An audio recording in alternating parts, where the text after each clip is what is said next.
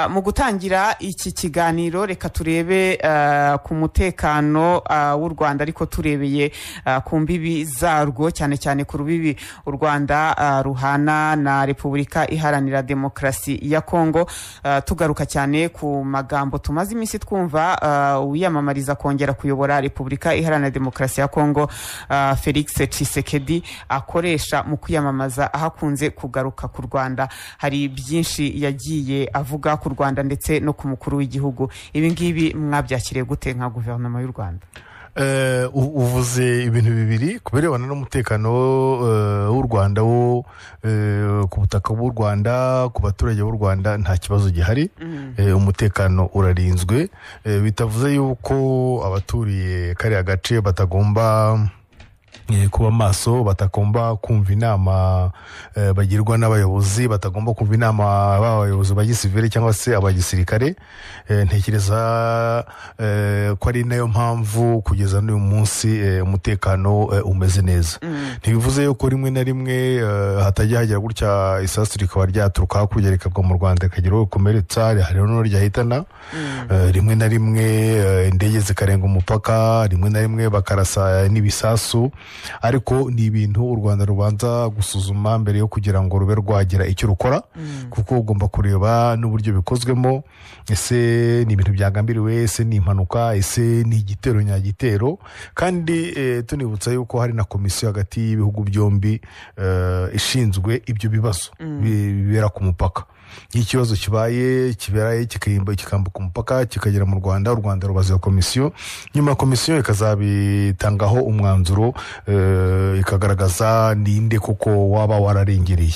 Kuri urwo ruhande rero nta kibazo gihari cy'umutekano. Wenda tukiri kuri ako kantu a- ayo masasu aza akagwa mu rwanda bamwe bagakomereka hakaba hanashobora ah, kuhaburira ubuzima. Ese um- imiryango yabo ese babona indishyi babona impozamarira bigenda bite ku miryango cyane cyane ku bakomeretse cyangwa se ababuze ubuzima. Aha icyo nakubwira ni uko leta ibitaho. Ntabwo ndenze aho ngaho kuko iyo turengeje aho ngaho umuntu aba yinjiye mu buzima bwite bw'umuntu ariko eh, yaba ukomeretse yaba eh, wa- n'uwahagwa leta ibitaho aho haba mu- kubavuza cyangwa se ibindi byakenerwa Mm. Mm. Hanyuma rero eh, ukagaruka twebwe twavuga ku mutekano navuga ntuvuze amagambo abiri hari umutekano hari n'umubano umubano wo urimo igitotsi nta banga ririmo eh, kubera nyine ibikorwa bibera hariya hakurya. Eh, noneho wagiwe unakomoza cyangwa se ugana ku magambo eh, umukuru w'igihugu cya kongo yavuze ku rwanda. Eh, gu- guverinoma y'u rwanda ntabwo yihutira guterana amagambo n'indi guverinoma.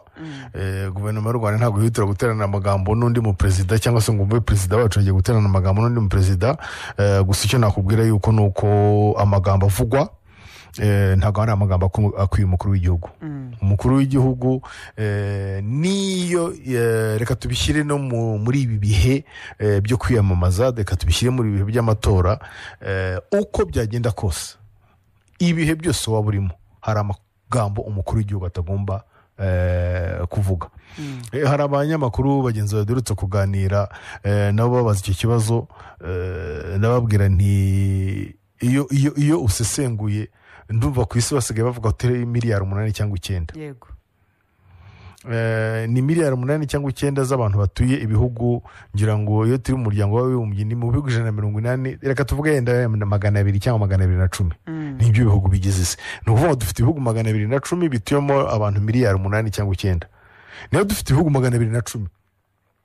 Ni ukuvuga ngo dufite abayobozi yaba perezida premier minisitire umwami ampereri b'ibihugu magana abiri na cumi. Ariko uribaza abantu magana abiri na cumi mu bantu miliyari icyenda. Ugahitamo abantu magana abiri na cumi bayoboye abantu miliyari icyenda urumva inshingano bafite urumva uko bagomba kwitwara ukaba uri muri abo bantu magana abiri bayoboye abandi miliyari ukavuga amagambo nkariya. Niyo mpamvu uvuga nti ntabwo ari amagambo akwiriye umukuru w'igihugu. Mm. ikindi nanone ntabwo ari amagambo ajyana ku mahoro. Mm. Ntabwo ari amagambo ajyana ku guhumuriza abo ubwira ntabwo ari amagambo ajyana ku ituze eh, ahubwo ni amagambo ya gashozantambara ni ari na yo mpamvu eh, ugomba kubyitondera ntuhite usubiza nibiba na ngombwa ntunasubize ukanasesengura ni impamvu ki ayavuga. Ari mu bihe by'amatora. Mu bihe by'amatora ikigaragaza ari uko eh, rimwe na rimwe ari no kwitwaza u rwanda. Ni uko we nk'umuntu ushaka kuguma ku butegetsi Mm. arahonda ku rwanda n'abayobozi barwo cyane cyane umukuru w'igihugu ari wahereyeho ngaho sinzongera kumuvugisha eh, tuzahurira mu ijuru. Eh, ngaho abashaka kumbohirika nababwira ikine baze ngaho ni nka hitireri eh, nzakora uko ashoboye arangiza nka hitireri eh, urumva arahonda ku rwanda kubera ko azi yuko hari abamwumva wenda bishyizemo u rwanda nabwo kandi barwishyizemo bate kubera ko abayobozi babo bamaze iminsi babibabwira. Babikoreye gahunda. Babishakira ingengo y'imari. Barangiza babyamamaza ku isi yose bahereye ku baturage babo. Ubwo rero ayo magambo avuga ikigaragaza yuko ari ukugira ngo abone abamujya inyuma arabivuga nk'ushaka kuguma ku butegetsi. Ni uko n'abashaka kumumukuraho binyuze mu matora nabo bamwe bahonda ku rwanda. Donc u rwanda rwabaye urwitwazo. Njye ndashaka kubugumaho ndavuga u rwanda nabi n'abayobozi ndashaka kubujyaho nanjye ndavuga u rwanda nabi nk'abayobozi. Mm. none se bi- bishoboka bite ko abashaka kubugumaho bavuga u rwanda nabi n'abashaka kujyaho bakavuga u rwanda nabi? Bigaragara ko ni urwitwazo. Harimo no- no- noneho no, no, no kwivuguruza. Ni ibintu bitatu. Kuba ari amagambo adakwiye umukuru w'igihugu ni urwitwazo. Icya gatatu ni iki? Harimo kwivuguruza. N'indimi ebyiri Mm. ku manywa imbere y'abaturage urafata perezida w'ikindi gihugu umutuke. Uko ushaka. Hanyuma nugera mu biro aho uri wenyine nagira intumwa iza kukureba. Ikubwiye ko niba iwawe ujya i kigali kuvugana n'abayobozi. Cyangwa ko ivuye i kigali ije kuvugana nawe uti karibu. Ubundi niba wavuze ariya magambo ntabwo wagombye kuvugana no- ntabwo wagombye kongera kuvugana n'umuyobozi wo mu rwanda.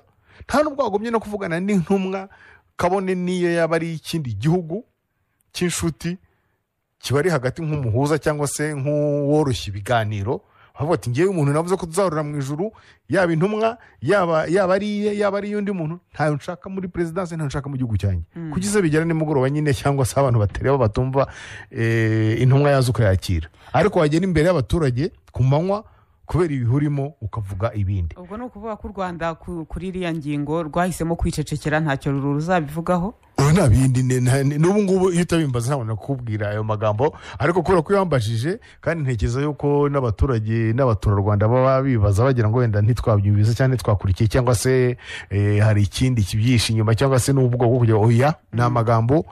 Nk'uko nabivuze ntabwo akwiriye umuperezida ni amagambo atajyana ku mahoro ku ituze guhumuriza abantu ahubwo ni amagambo agashoza ntambara ariko ni n'amagambo arimo indimi ebyiri. Nta kintu umunyamabanga mukuru wa loni yasubije kuko twabonye kuri twitter umuvugizi wa guverinoma madame yolande makoro ah, amusaba kugira icyo akora kuri ariya magambo ya cisekedi ese mu gikari cyangwa se n'ahandi umuntu ashobora kugera ntacyo ah, u- bigeze babasubiza ntacyo ah, umunyamabanga mukuru wa loni yasubije.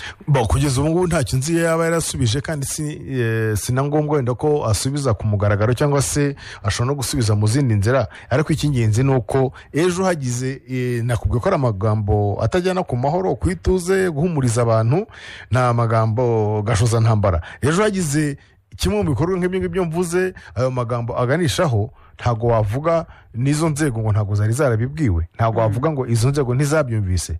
Niyo umuvugizi eh, wa guverinoma y'u rwanda yarasabye kanaka umuryango w'abibumbye ati nyaboneka ibi bintu mubirebe mubisuzume cyangwa se mubikurikirane.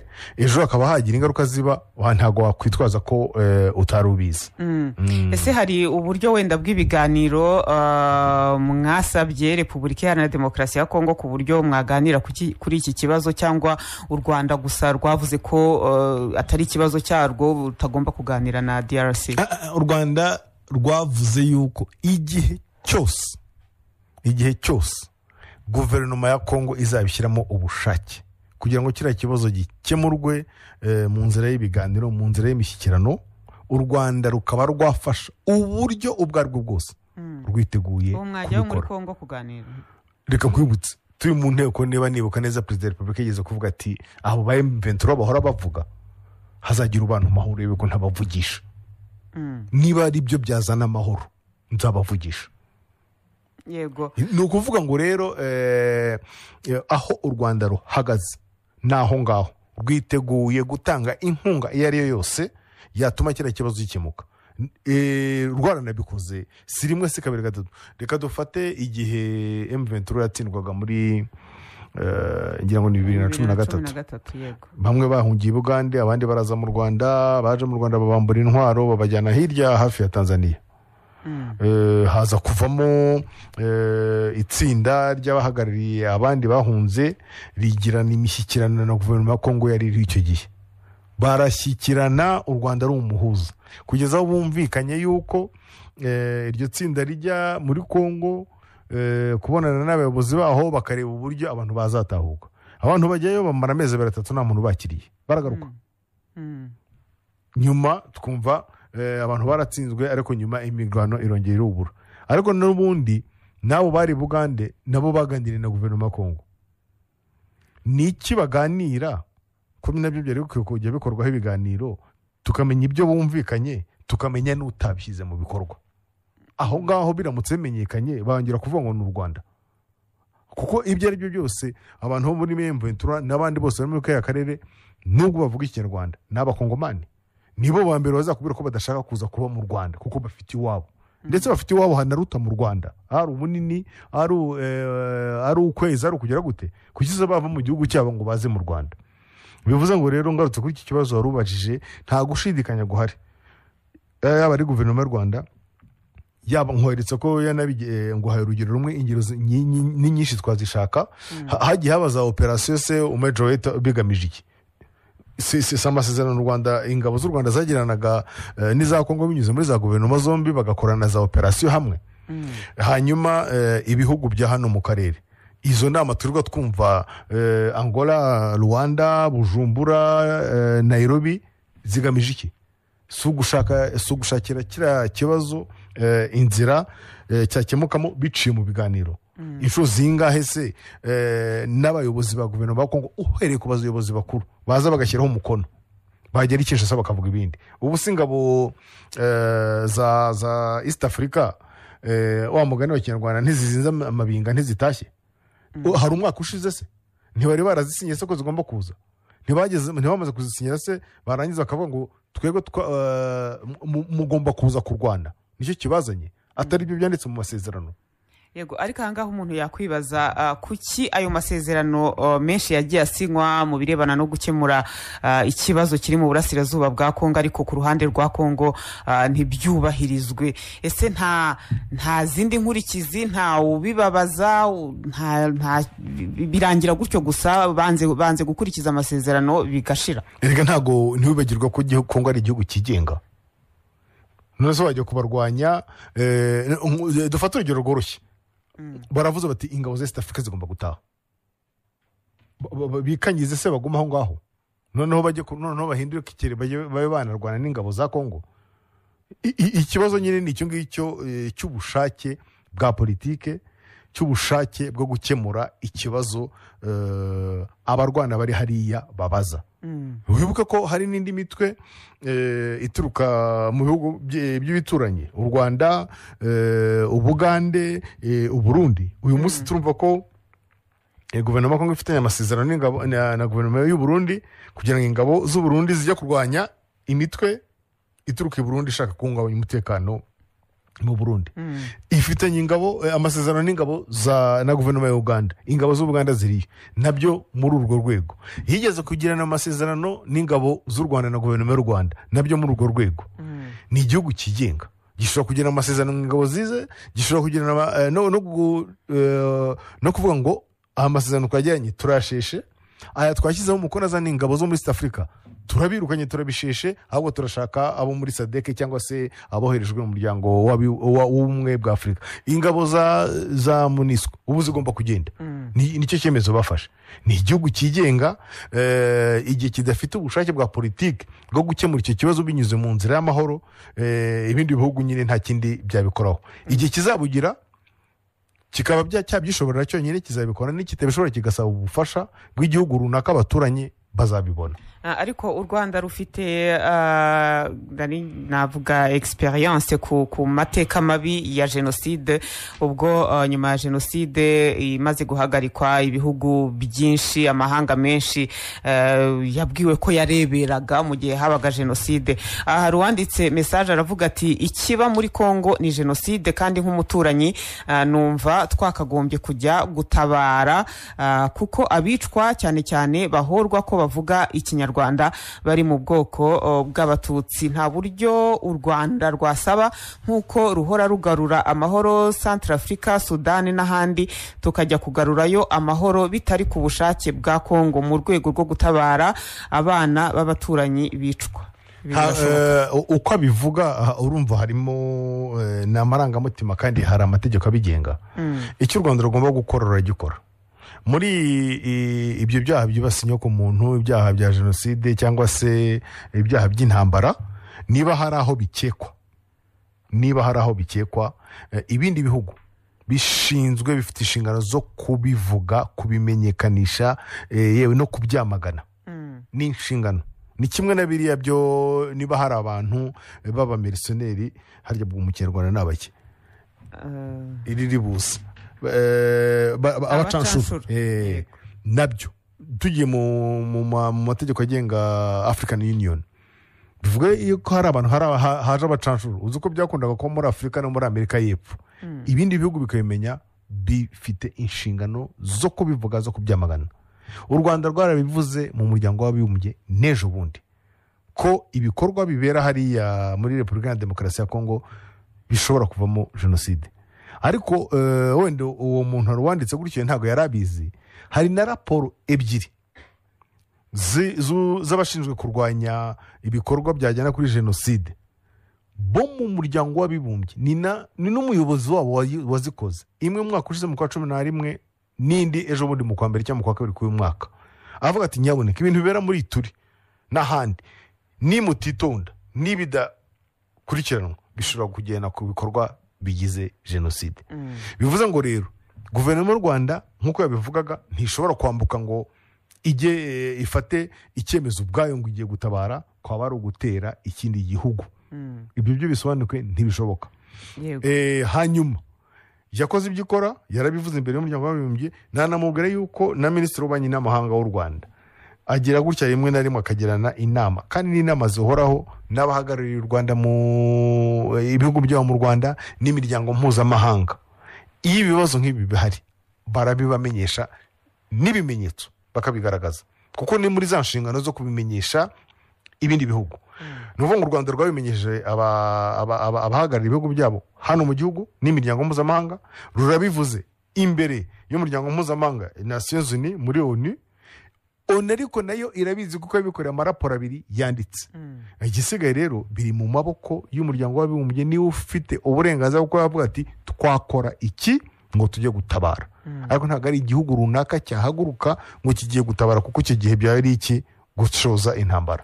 Izo raporo zagiye zikorwa ndetse ah, hakanagaragazwa n'uburyo umutwe uyu munsi wabaye wa zarendo ariko urimo n'abasize bakoze jenoside mu rwanda bo mu mutwe wa fdr kuko iyo bamaze ah, gukora ibikorwa byabo numvise baririmba banishima mu kinyarwanda. Cyumvikana ko harimo abanyarwanda. Ah, felix Tshisekedi yavuze ko abashyigikiye ndetse ko anasaba ingabo ze kubafasha mu bikorwa byabo. Ndumva ari ukwezi gushize yabivuze kuri france 24 ese ziriya ni imbaraga zingana zite? Aho umuperezida ashobora kuvuga ko ashyigikiye umutwe nka wazarendo mu maraporo atandukanye baragaragaje ibyo ukora.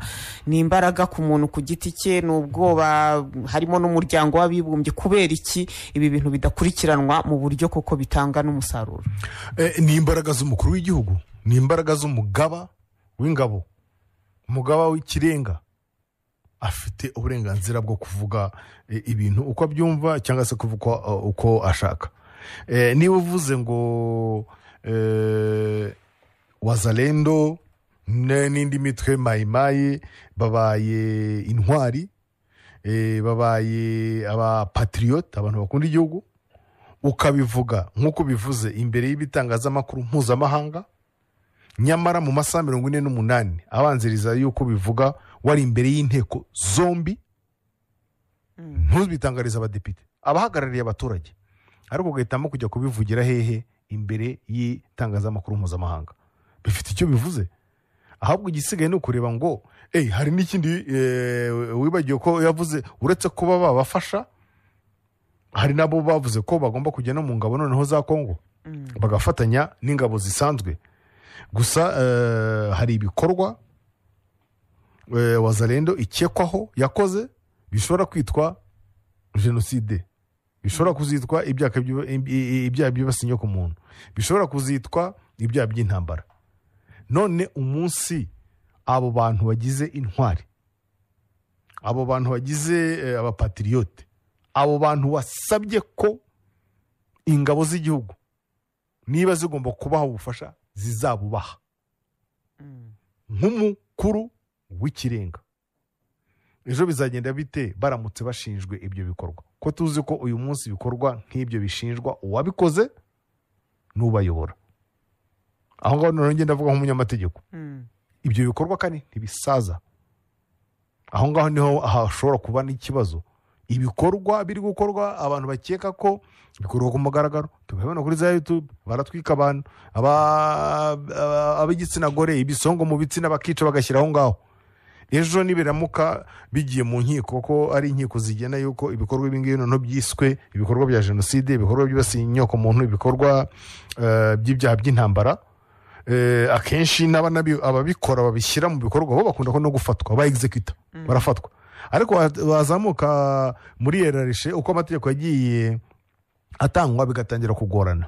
Ariko umuntu umukuru w'igihugu arihanikira yagiye imbere. Y'itangazamakuru barimo barabifata amashusho barabika muri za archive ati bazalendo n'intwari eh, nyaboneka ingabo z'igihugu. Nimubona mugomba kubafasha. Muzabafashe rimwe na rimwe ntibajye mu ngabo ibikorwa n'ibikorwa byabo ubigize ibyawe. Aho ngaho hari, hari, hari n'ikibazo. N'ubundi nk'uko nabivuze ni ijambo ry'umukuru w'igihugu ni ijambo ry'umukuru w'ingabo w'ikirenga igisigaye kumenya nese ni ijambo ryiza ni ijambo ri- rishyigikira ibyaha cyangwa se ibikorwa biri gukorwa ibyo ngibyo ubwo ni amateka azabitubwira.